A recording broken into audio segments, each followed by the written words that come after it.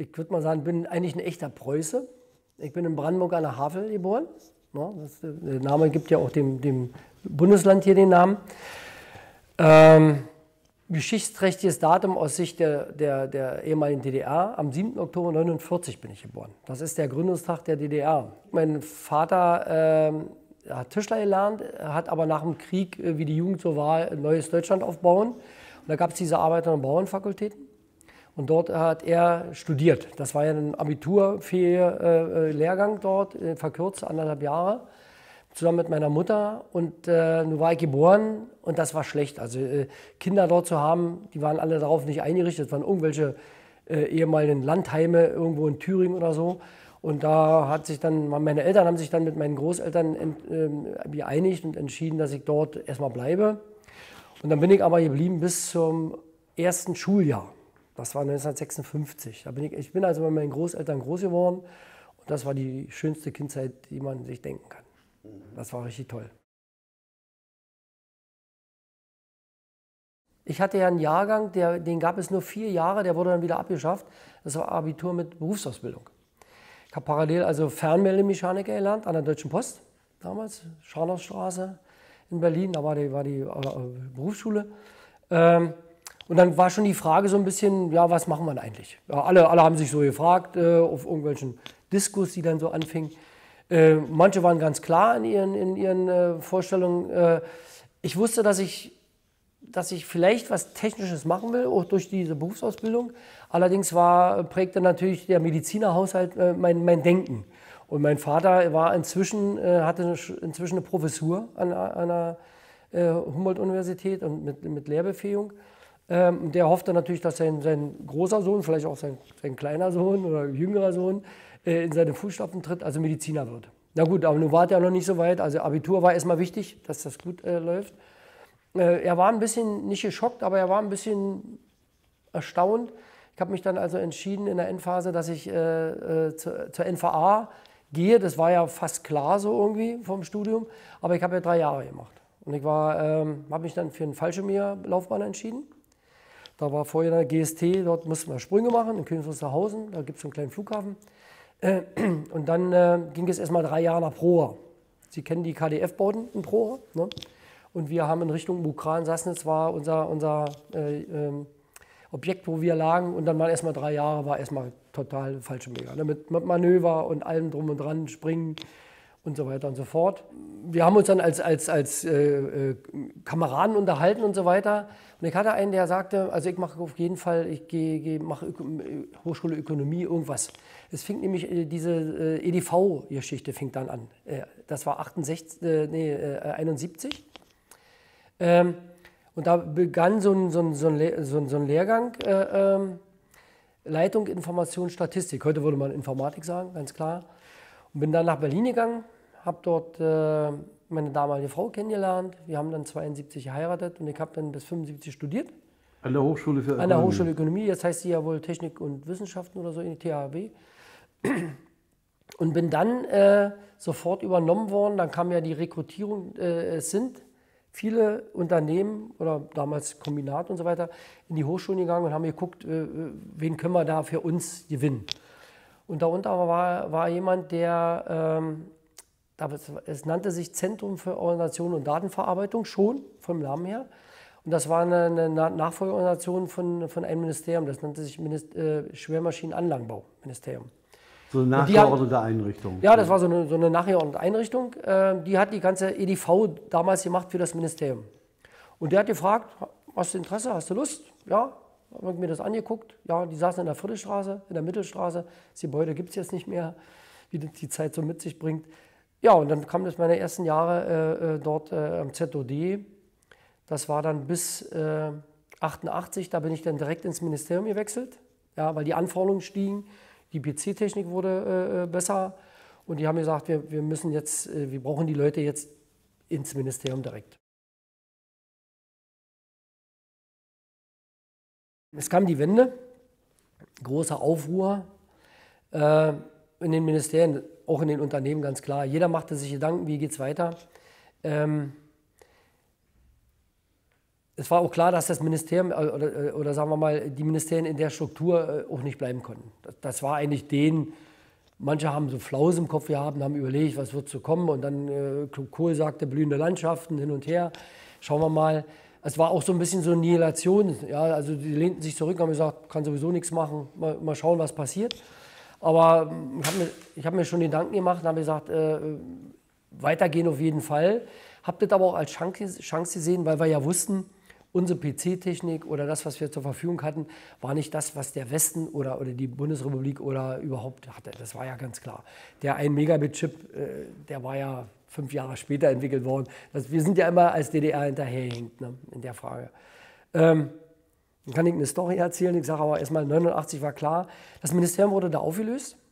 Und ich wechselte dann über in der gleichen Funktion als, als äh, IT-Spezialist in ein Ministerium regionale und kommunale Angelegenheiten. Das wurde extra gegründet, war aber klar, dass das ungefähr nur ein Jahr besteht für den Aufbau der regionalen äh, Strukturen, das heißt also Länderstruktur.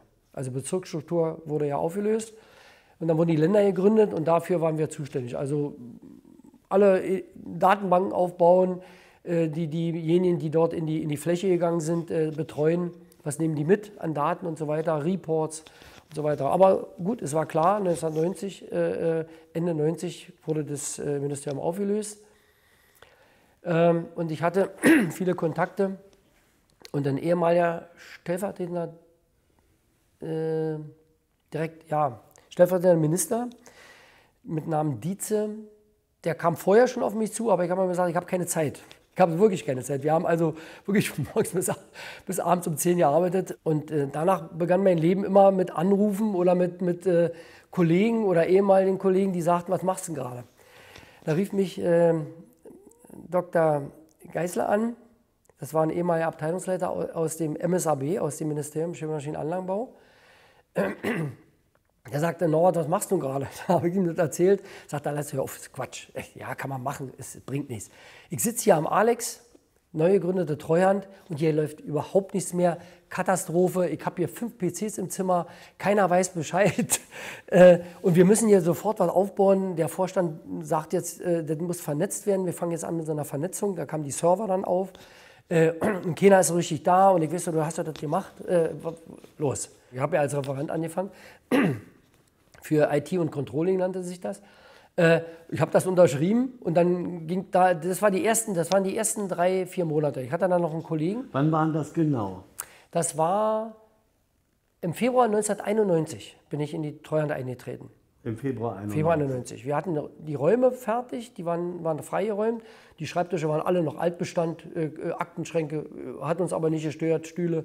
Das Einzige war die, die PC-Technik. Ich habe dann äh, meinen PC, den ich zu DDR-Zeiten 88 im Ministerium bekommen habe, das war also ein Import über Schalt-Golokowski, ein äh, IBM Tower, den habe ich dort wieder gefunden. Den haben die damit rübergeholt in der ganzen, in den Wirren der, der, der Nach, äh, Nachkriegszeit, sag schon, in der Wendezeit. Entschuldigung, äh, Wendezeit. Ähm, habe ich bloß gestaunt und äh, habe dann einen Kollegen angerufen, das ist so eine Folgekette. Ne? Äh, Klaus Barth, den, der existiert noch, den, wir haben uns jetzt vor, vor einem halben Jahr erst getroffen. Äh, den habe ich zusammengearbeitet mit MSAB. Den habe ich auch gefragt, was machst du? Der hatte auch irgend sowas. Ich sage, Klaus, komm her, wir brauchen Leute. Und der kam dann auch und der wurde eingestellt, waren wir schon zwei. Und dann haben wir gesteckt und gemacht und getan und haben dann angefangen, so die ganzen Schulungen zu machen, die Mitarbeiter zu betreuen. Mein Vorteil war, dass ich, wie gesagt, äh, dieser Tower, dieser IBM Tower, wo dann ein großes Staunen war, als 88, ganz kurz, Farbbildschirm, 3,5 Zoll Diskette und ein 20 Megabyte Festplatte. Muss man sich mal vorstellen. Und alle, die in mein Zimmer damals kamen, gesagt, was hast denn du da? Sah aus wie ein Raumschiff. ähm, dadurch hatte ich natürlich, musste mich ja mit, das war ja noch DOS-basiert, also DOS, da gab es noch kein Windows. Äh, dann kam Windows.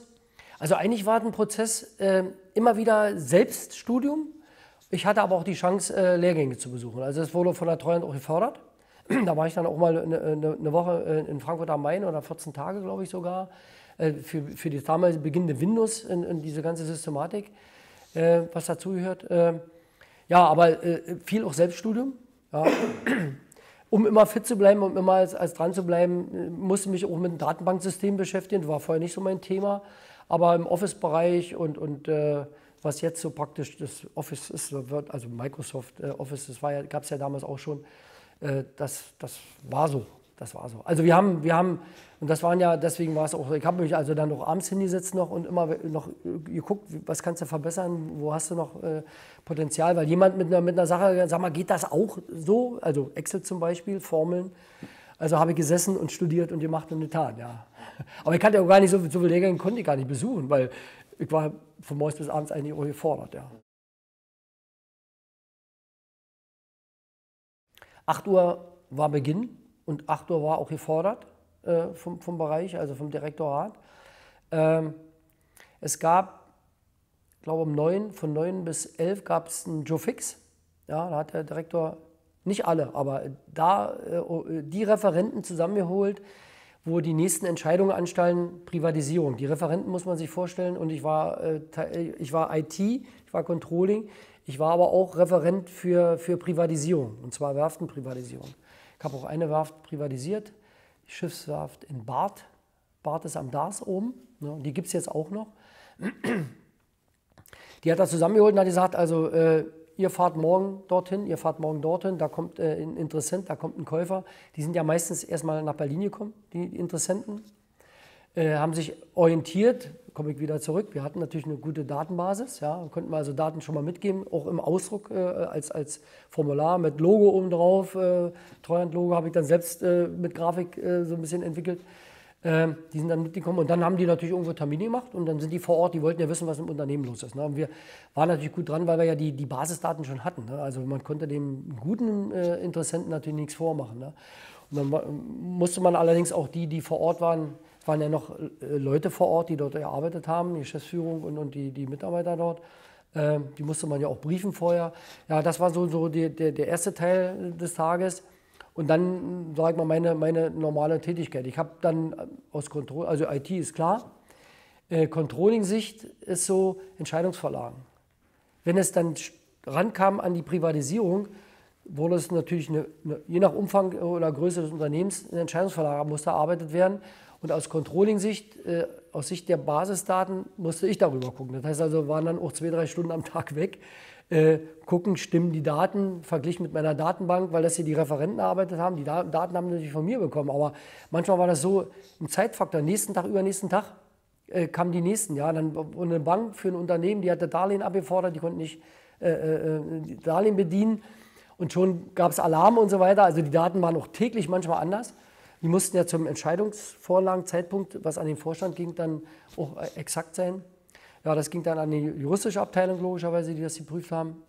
ja, und dann meine, äh, in dem zweiten Jahr, dann meine Referententätigkeit. Ich musste ja selber auch sehen, dass ich da äh, auch ähm, für das Unternehmen dann mich vorbereite, bei den Privatisierungen zu sprechen.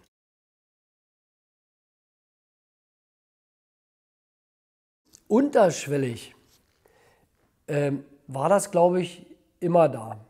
Aber nicht, äh, was die fachliche Seite betraf, und klar, wenn, wenn, wir hatten viele Juristen, die kannten natürlich die juristische Seite der alten Bundesrepublik, ähm, also kein Strafrecht oder so, sondern ökonomisches Recht.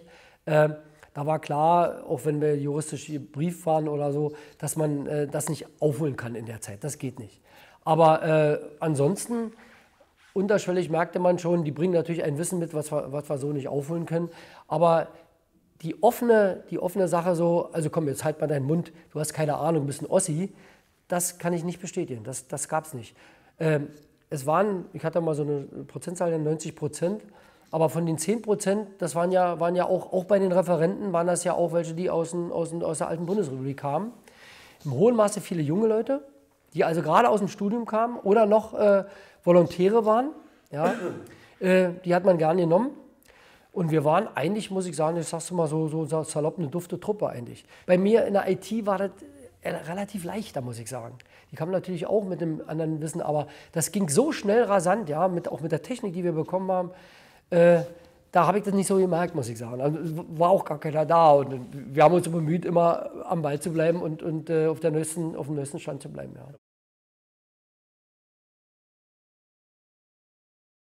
In der Retrospektive was uns damals ja so nicht klar sein. Im Nachhinein kann man denken, äh, äh, war es eigentlich richtig, die Entscheidung, so eine Anstalt, also eine Treuhandanstalt, die das Volksvermögen verwaltet, zu, zu gründen, damit einigermaßen vernünftig ähm, der Teil 23a, also Angleichung an die Bundesrepublik, überlebt. Man muss es wirklich so sagen.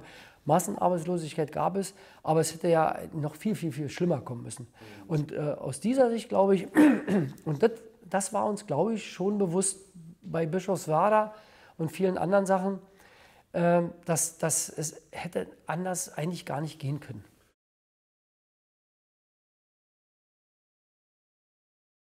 der Meinung bin ich, dass es äh, teilweise zu schnell gegangen ist. Das glaube ich schon. Das hat die Freundin schon mal gesagt, dass ich eine, mir wünschte, dass die Treuhandanstalt an Jahren, keine Ahnung, aber hätte länger existieren müssen. Ja? Ähm, dass man, obwohl ein Unternehmen zu dem Zeitpunkt X bewertet wurde und gesagt hat, hat eigentlich keine Überlebenschance, aber wenn man davon ausgeht, wo in anderen Bereichen Milliarden zur Rettung von Kohleindustrie und anderen Industriezweigen auch in der alten Bundesrepublik, also Subventionierung gemacht wurde. Und nun war es ja immer so, dass politisch alle, die politische Elite der alten Bundesrepublik äh, froh war darüber und daran nie geglaubt haben, dass es nochmal zu einer Einigung Deutschlands kommt. So. Dann muss ich was investieren und das ist natürlich auch erstmal Geld. Und das muss ich reinstecken und dann muss ich die, ich hätte mich ja beteiligen können an die Unternehmen. Das wollte man natürlich nicht, ja, ist klar.